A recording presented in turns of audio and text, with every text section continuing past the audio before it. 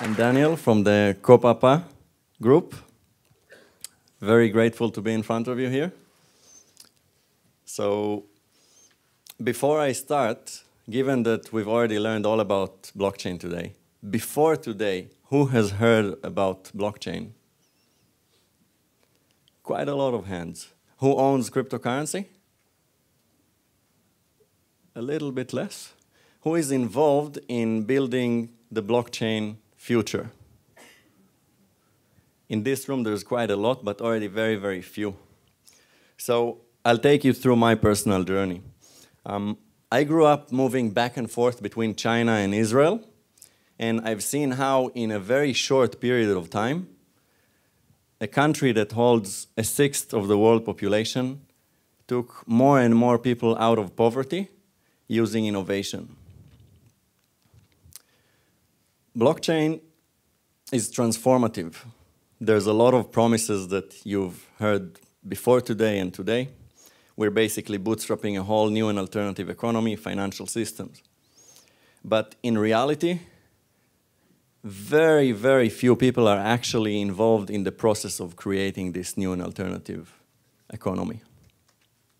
Aotearoa actually is a little bit like blockchain. It's like this secret, super, super awesome place that iwi people are so empowered and like those of us who are lucky enough to be in contact with this land and those people feel completely transformed. And it's operating from the edges. Now, um, not too long ago, I was a research scientist um, studying quantum nanoelectronics. And while I was working on my studies, I started working on building a community of educators in the crypto space. So um, some of our content got um, so, so popular that it was ranked number one on uh, Google with zero dollars on marketing. And not too long after that, um, Chinese people forked our open source repos, and I made best friends with those guys, and I found myself leading collaboration with um, communities that has hundreds of thousands of developers in China. So I pretty much dropped out of my PhD and was working full time in crypto, um, a little bit in the banking sector, and um, later on on some other more grassroots focused community stuff. And not too long ago, I started a project called Tenzorum, and what we are doing is making these technologies relevant for just every person. So you can now go to Tenzorum and register your username with just two clicks, and it's not just a bunch of mumbo jumbo stuff that are not useful anymore. And we're also developing SDKs for developers to make it much more easier, similar to my fellow Aaron. Now, I want to also touch on our responsibility as entrepreneurs and change makers.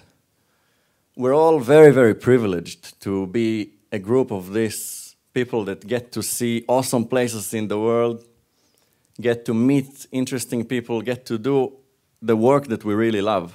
But it's not just a privilege, we have huge responsibility. And this also connects to the mission of the Copa Copa group, which is our responsibility is to heal the world, to create positive change, to bring these superpowers that we have as entrepreneurs, change makers, and share it with more people, and not, not stop when some hardships come. And I'll share with you one small bit before I finish. Um, I applied three times to the Edmund Hillary Fellowship Program.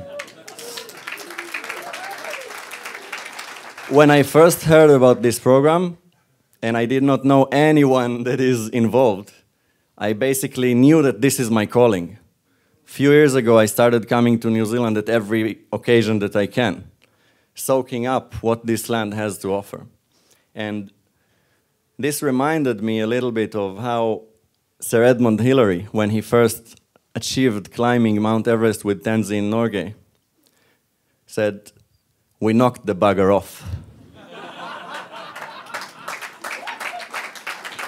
Thank you. Kia ora.